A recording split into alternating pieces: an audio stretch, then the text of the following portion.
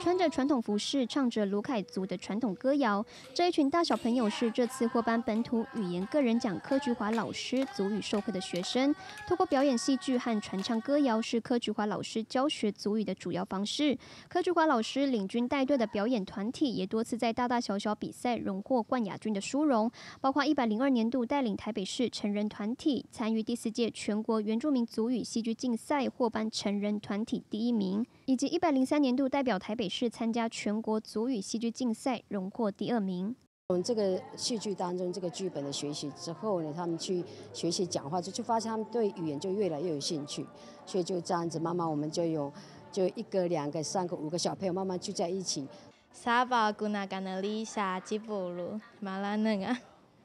流利的用卢凯族语自我介绍，柯菊花老师的学生从幼儿到成人都有，也因为他的教学方式多元，吸引许多小朋友慕名前来上族语课。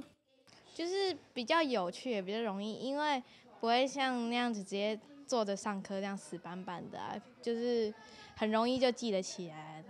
而另外一位获奖的宋明金老师，则是致力在台东海端乡传承并教学布农族语。除了在学校担任族语老师之外，宋明金老师也编辑并推广布农族语的教材，包括民国九十七年完成了东华大学原住民族发展中心布农族的大专教材。另外，一百零二年也参与编写正大原住民族语研究中心国高中的初级教材。本身也是牧师的宋明金老师，也将新约圣经翻译成布农族语。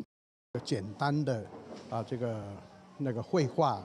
的这个啊这个教材是这样，我一直到现在啊都是在自己编这个啊主语的教材。两位族语老师在传承语言推动上不遗余力。他们说，最大的目的是希望原住民族的后代子孙都能够会说、会听和会写，也希望借由自己在推动族语的专业，贡献一己之力，让族语能够成为原住民族家庭中最主要的语言。